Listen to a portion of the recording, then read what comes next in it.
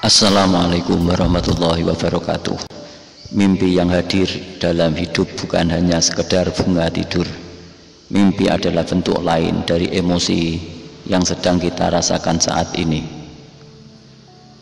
Dikatakan bahwa mimpi dapat mengidentifikasikan masalah hidup seseorang Karena mimpi merupakan respon alami terhadap emosi yang tengah dirasakan jadi apa mimpi kamu semalam? Apakah tujuh hal ini sering hadir ke dalam mimpimu? Satu, mimpi dikejar. Ini adalah mimpi yang sering dialami oleh banyak orang.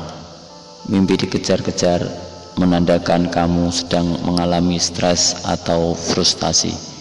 Dapat juga diartikan kamu tengah mengejar suatu tujuan dalam hidupmu jika yang mengejar itu adalah binatang, artinya kamu akan menemui kesulitan dalam meraih sesuatu yang kamu inginkan.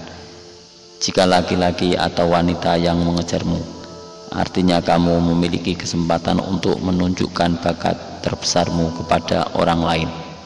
Sementara jika yang mengejarmu adalah sesosok raksasa, artinya ada bakat besar di dalam dirimu namun kamu tidak tahu bagaimana cara menyalurkannya. Dua, rumah terbakar atau terendam. Ketika kamu memimpikan rumah terbakar, itu menandakan kamu akan mengalami sebuah transformasi dalam hidup. Api yang berkorban di dalam rumah adalah simbol kamu perlu mengambil sikap untuk merubah keadaanmu saat ini. Sementara rumah yang terendam atau melihat air mengalir dari atap-atap rumah menandakan kondisi emosimu tengah berada di titik terendah.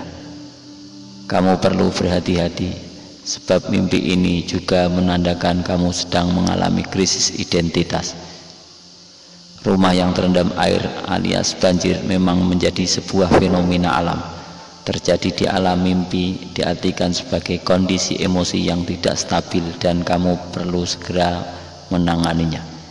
Tiga, bermimpi tenggelam dalam sebuah kubangan air artinya kamu akan menghadapi situasi di mana perasaan akan mengalahkan logika atau akal sehatmu.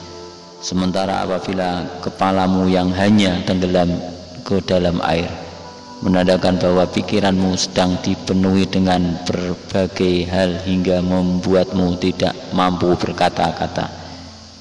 Mimpi tenggelam hingga kakimu tidak dapat menyentuh dasar daratan artinya kamu sedang berjuang seorang di atas masalah yang tengah kamu hadapi sekarang. Empat, pasangan selingkuh. Memimpikan pasangan selingkuh biasanya dipicu karena rasa percaya diri yang mulai luntur dalam kehidupan nyata. Kamu merasa bahwa pasanganmu mulai tidak secinta dulu dengan kamu. Meski mimpi ini sangat mengganggu pikiran, namun sebenarnya makna yang terkandung di baliknya ya ini ada sebuah kebutuhan dalam dirimu untuk tidak dapat terpenuhi. 5 serangan teroris. Mimpi ini juga menjadi mimpi yang sering dialami banyak orang. Mimpi mendapatkan serangan teroris biasanya terjadi karena kondisi psikismu sedang terkena serangan teroris. Erat kaitannya dengan ke kejutan yang tiba-tiba. Karena itu kamu harus berhati-hati jika mendapati mimpi ini. 6. Mimpi mengandung Mimpi mengandung adalah hamil, menandakan ada sebuah rencana besar yang kamu susun dan akan menjadi kenyataan.